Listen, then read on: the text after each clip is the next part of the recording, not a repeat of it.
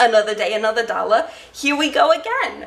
I'm actually gonna hold off on continuing the fitting until I have the petticoat done, just because I feel like I can't fully fit the skirt and like figure out how much I wanna take out of the skirt until I know what the fullness of the petticoat is gonna be like. And also my fabric for the petticoat came in. It came literally like the day after I ordered it.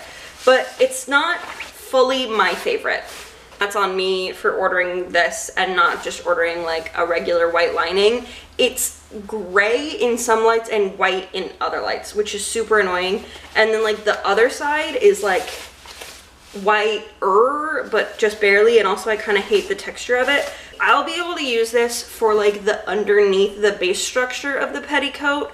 And I'll probably only use it on like the top half. And then we'll use the satin and the chiffon that we found the other day on the bottom half and basically like anything that's sticking out of the ripped hem will be in those fabrics and then the rest of it will be basically in this. I also think I decided I'm going to draft a whole new pattern for the petticoat. I haven't decided if it's going to be separate yet or not. I think I'll probably just end up sewing it on as if it's a lining to the dress instead of having it separate and having like multiple layers that then you have to like situate. I think just in the long run it'll be easier if it's all one piece. But basically making a new pattern that's an A-line skirt will be easier just because of like the gathers and everything putting it on a circle skirt and then also I like haven't fit the circle skirt properly yet so it's just it's a whole thing that needs worked out.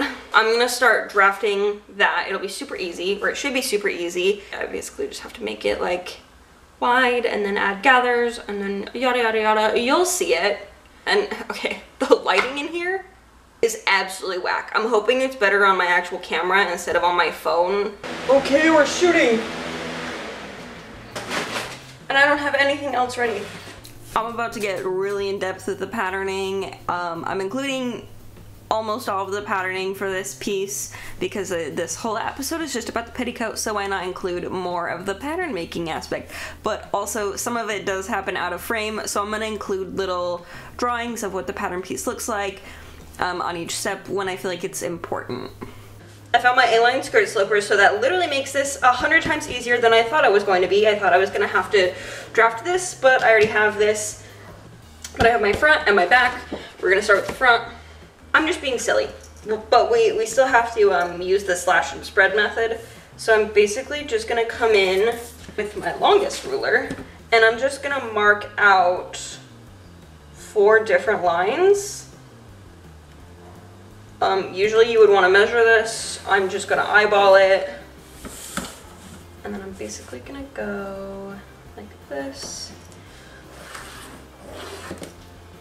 I didn't even need this piece. Oh, we can use it on this next step though. Nice. I'm a genius. Right, I'm gonna mark more of the the hip line because I actually want to use that line. Where's my hole? Nice. Okay. I'm gonna eyeball this, which is a big no-no, because I don't know where my hip curve is. Okie dokie, now what we're gonna do, we're gonna cut down these lines. Because we're adding gathering. Next, I am going to take another piece of paper and apparently two. Um, yeah, and I'm going to tape it. And I'm to leave a, quite a bit of excess on the top. This is why you want actual patterning paper because then you don't have to tape all of these pieces together. This is our second piece. So what I'm going to do is I'm going to remark out this line. Okay, and then how much gathering do I want to put in this? This is the top one, so it doesn't necessarily need that much. So I'm gonna add, if I add an inch at each of these, that adds three inches per quarter. Yeah, that should be good. So I'm just going over that line and I'm adding an inch to it. And then I'm going to square this on that line. This is the waistline. Okay, and then I'm gonna take our second piece. So this is one, two, three, four. Take our second piece, match up the waist, and tape it on. So now I'm just gonna go on this line, and I should also tape down that line. I'm gonna add an inch. And I'm okie dokie. And then we're gonna square off of the waist. Line that up. Add on our three, lining it up at the waist. Tape it on both sides. Lovely. Now we're gonna add our third inch. Like this. I have like literally the perfect amount of paper. This is crazy. Square off the waist. This actually could not have worked out better. So if I look at the Suicide Squad, the dress comes to like, this is her knee. So it comes to like mid thigh on this side. Okay, so I can do a ruffle here. Actually, let's say like we do a layer here, and then we can do a layer here. And then that bottom layer. Okay, yeah, so I want one probably mid thigh and then knee height. Okay, I'm gonna say like 14 inches for the first one. So I'm gonna take my ruler and at 14 inches, I'm basically gonna just measure down and mark out like a very rough um, seam line.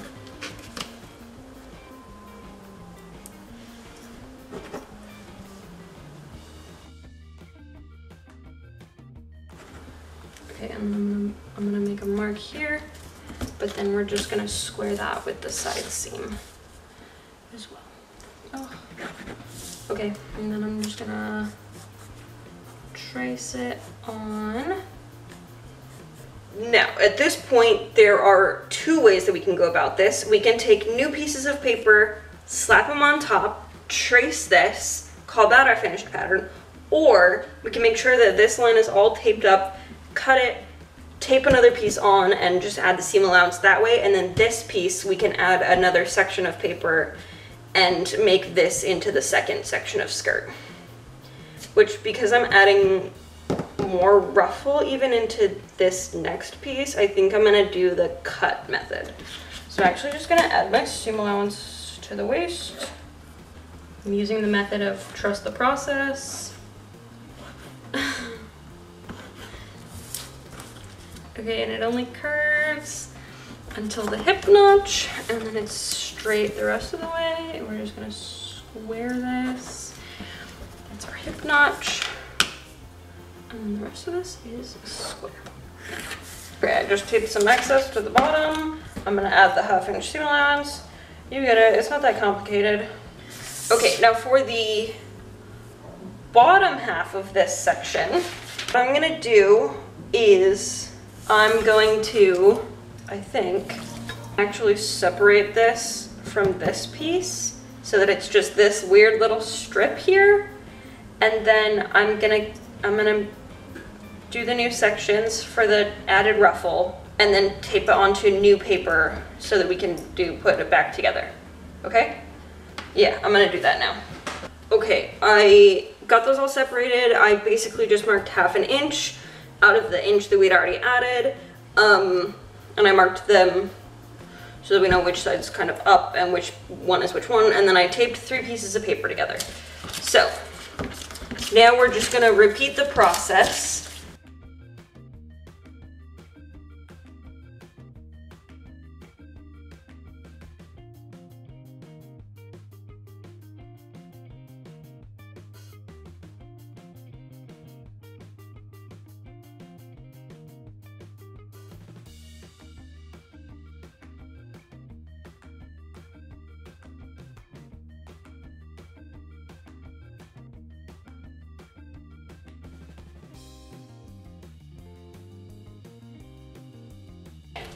Now I have to figure out how long this section needs to be. So I'm gonna take my tape measure, and this is what, 14 inches? So I'm actually gonna say like 14 inches from there to there. And then from there, I know that the length of our finished skirt right now on our sample is 34 and 3 quarters. But I want this to be like 2 inches shorter than that probably. So I'm going to move this up to 32 inches. And you can see where I marked those, 34 and 3 quarters and then 32. And this is going to be the exact length of the ruler. So that is actually kind of really cool. And I'm to do the exact same thing we already did.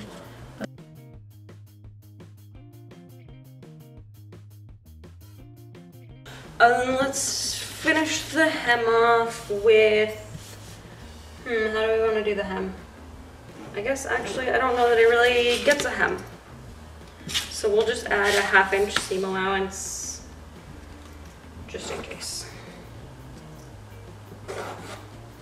We may as well like semi-finish this and then tear it up. I should have just cleaned up, you know, before I hit record, but it's it's fine.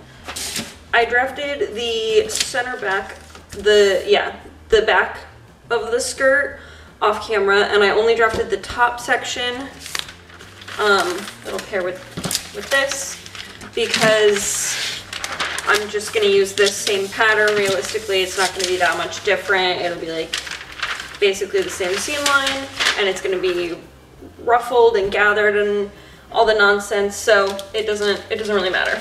You know, realistically, also most of this piece isn't gonna be there on the skirt because like half the skirt isn't actually gonna exist. So I'm just gonna go through this one and I'm gonna mark out like a halfway point on this one because I'm gonna wanna attach like a, a secondary ruffle on top of this out of probably the chiffon or the bridal satin. I am more leaning towards the chiffon though, but actually, actually, if we do like a little bit of this and then lay this over top and then like, you know, and this will pretty much, and then like cut this back further than this so that this just hangs there. You know, that could work. That could work actually. Oh, I have a vision. Um, I just want to shout myself out really quick because I laid out the, the blackout lining fabric and I was like, oh, I'm not gonna have enough. Like, what? How? I mean, I did guess, but so I literally lined everything up so that it's barely like covered. And I mean, honestly, I don't need all of the sec the bottom half, but this pattern piece is 19 inches exactly. And the amount that I have left here is 19 inches and 1 16th. So it's it's all gonna fit. It's all gonna fit and I'm gonna do it. Oh my goodness. Um, yeah, turns out I was optimistic too early. I'm losing about an inch and a half, but it's fine. This doesn't need to be perfect anyways. And there's gonna be stuff over top of it. So I'm also doing something out of my comfort zone and I'm cutting this out with a rotary cutter. Um, I don't, I don't know how to feel about it. Okay, everything's all cut out. I think I'm gonna overlock the edges and then run a baste stitch through like all of the top edges so that I can start gathering them and then I'll attach this one to this one and then I'll just like baste this edge. Yeah, I, I have to sew them together first and turn it into a skirt, but you get what I mean. You get what I mean yesterday I sewed the side seams and then I basically put weights on them to hold them down because they weren't pressing very well. This material is super duper annoying because it's coated in something that like when you do a top stitch it has this coating on the inside that shows through that's black. So I was gonna top stitch it more but now I'm not because it looks ugly. But I now need to make the ruffles that need to go on between like the bottom half and the top half, if you get me. So I think I'm just gonna use the same pattern and like cut like cut it roughly and then like just literally throw it on because it doesn't need to be that full. And then when I do the second layer on the bottom half, then I'll make that one a little bit bigger. But that's that's what I'm gonna do. I'm gonna start spacing out like the time that I'm out here for the mornings because it is just getting hotter outside. So it's like it gets really hot in here. So when it's like cooler in the mornings is when I'm gonna be working now. So everything's not to be like one continuous long day anymore because it's just, it's too hot to do that. Um, I'm to cut out the chiffon and then sew it. Yeah, that's the plan for this morning now. Okay. Maybe we get the petticoat done today. Yeah, um, I, I lied to all of you. I actually am doing it on satin and not chiffon and I added like an inch here. And then I'm basically on the bottom because I want two ruffles. I'm just gonna cut this layer like here, not on the pattern. I'll probably take chalk and just mark like a really rough line since they don't need to be perfect anyways. Um, yeah, and then this one's gonna go until here because that's basically the same line anyway. So I'm literally just gonna cut it here and give this side like an extra inch. And then um, try to duplicate that the back panel, but I didn't feel like moving all my shit apparently to have more space to work. Yeah, okay. I'm a liar, sorry. So I only have enough fabric left to cut one section of the bottom piece, which actually is fine because most of it's gonna get cut off anyways. Uh, but the way that I'm gonna do it basically is I've just lined up um, enough to have like half an inch above this line here that I kind of sketched on. And then I'm just gonna cut the rest of it out. I added like a little bit of extra. But then I have this fabric pen that then just has this random eraser and I tested it out already and it leaves like a tiny bit of residue but it's going to be covered up anyways because it's just me adding the seam allowance on so I'm just going to mark it with the marker cut it out and then erase it and then after that I'm going to just overlock everything except for the bottom edges for now at least and then I'm going to start sewing and ruffling and, and we'll check back in. Each layer is now a singular piece. So now I'm gonna take a like a basting stitch through this layer, which is this the second ruffle, and then I'm going to attach it to the bottom section. To this bottom section, it'll attach here. Um, and I'm also gonna ruffle this, and then I'm gonna attach those to this section. I'm feeling real chaotic right now, which is, you know, that's great. So I'm just gonna keep sewing. Full ruffle, attach, attach, okay? And then ruffle, ruffle, attach. And then that one is um, probably gonna hold for now. I may ruffle it and like kind of like pin place it on, but I'm not gonna attach it yet. I started pinning the ruffle to the bottom section and then I started ruffling it and I very quickly realized that that was just going to make my life a million times harder so I separated them and then I started pinning the first ruffle right sides together to the top section instead. This was just going to make my life a whole lot easier attaching them separately and then they'd also have a slightly different ruffle to them and give it just a little bit more oomph. So when I ruffle it, I'm basically just pinning the center front, center back together, and then the side seams together. And then I pull on the top stitch of our basting stitch and get it to the same size. And then I pin it in a couple different spots so that everything kind of will stay evenly ruffled throughout.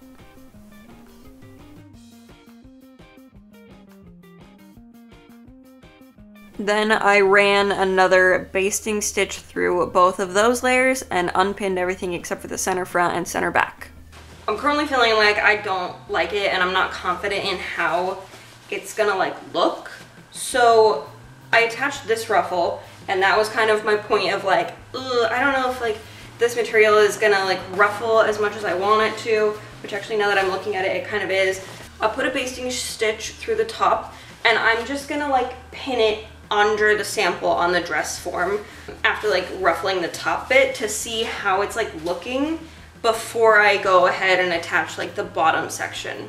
Yeah, there's also gonna be like, I have that whole second layer that's gonna go over top of this one too. So I just want to make sure that it doesn't look like super dumb under the sample. Okay.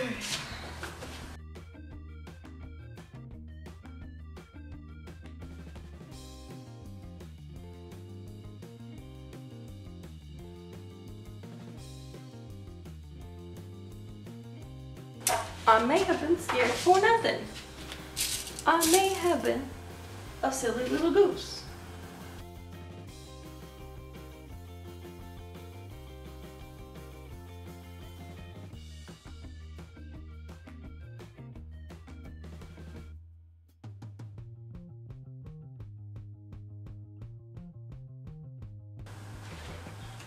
Okay, honestly, it's kind of perfect. I was apparently scared for nothing.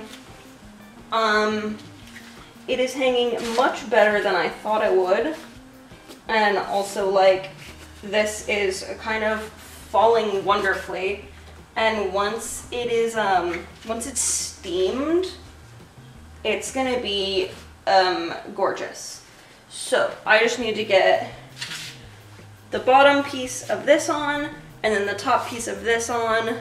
Yay! Yay! Okay, I was terrified for a minute there. I was so scared that the pieces were gonna be way too big, but also like way too small. Like I thought that that this was gonna be like too much material and it was gonna hang weird, but then this was gonna be like too little, you feel me? But I'm actually pretty happy with it. Like it gives it like a little a little something but also it's gonna be so easy to just tear this to shreds. So the last thing I'm gonna do today is just get the top ruffle on this and then it'll be semi-complete and then I'm gonna put it on the dress form and then call it for the day. Okay, day three technically I guess of working on the petticoat. Um, I feel like I got most of it done yesterday actually and I actually, I I honestly can't decide if I'm gonna attach it to the dress or not. I think I'm leaning more towards not and just having it on an elastic waistband underneath. Especially since all the ruffles for the dress are gonna make it like an extra thick waist seam. I don't wanna have the ruffles on the petticoat like doubling up on that. And if I put it on an elastic, I can like move it around on like depending on where it sits on my waist, if that makes sense. I got my steamer out so this morning we can steam the petticoat and then I think I might gather the final ruffle piece and just pin it on and then I think we might start tackling the top skirt a little bit today but I also have the world's worst migraine so we'll see how far we get. We might just end up finishing the petticoat and finish episode three which is crazy. I can't believe we're already three episodes in and I know that we're gonna do, we have, we still have to do the fitting or like the skirt and then we have to make the actual dress, which we're still waiting on fabric, which is still, like, it's still like a week out at least. And then we have to weather the dress and then we have to do the wig and figure out the makeup. And then I have to decide if I want to do the javelin or not. And I was looking at javelin stuff last night and I honestly have no idea what I want to do for the javelin. So we still have lots ahead of us. And I also planned what the next cosplay we're going to work on is. And then I also was looking at more options this morning. And I think there's another one that I want to potentially tackle after the next one. The next one's going to be quick. And then the one after that, if we do decide to tackle that one, is going to be um, a much longer project. So we got lots to look it up. Okay, while my steamer heats up, I'm actually going to pin up this dress again because I want to steam the petticoat and then we're going to steam the mock-up.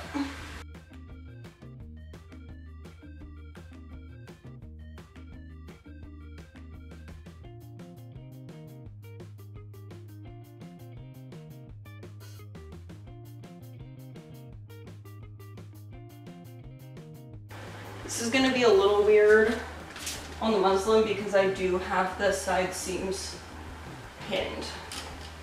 But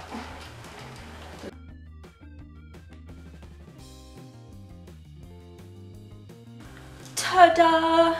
What's left to do? Well, um, everything else pretty much. But this has been our petticoat interlude. Yeah, next time we're gonna tackle the skirt and fitting the skirt and then cutting the shape out. After that is all done, we're gonna start working on the actual bodice and I'm gonna be doing it a very interesting way. So yeah, once our accordion pleated mesh comes in, that's when the real fun starts. And that's when we can start making ruffles. Oh, we gotta do that next time too. I gotta figure out ruffle width because it's like five and five. There's like five that are fully complete and then five that are the ones that are torn. So yeah, we gotta figure out, we gotta do more math. Hopefully it goes better. But if you liked it, please like the video, subscribe, it's free. You can always unsubscribe later. And you don't want to miss out on this absolutely thrilling content. Check out my TikTok. I am also active on Twitch. I play games over there, I do makeup. Um, cosplay streams are gonna be start happening soon. So check me out over there, give me a follow. Yeah, that about does it for now. If you wanna see sneak peeks of what is happening in here and to this, follow me on Instagram. My Instagram stories are back and they are better than ever. Yeah, I will see you next week on Friday. Bye!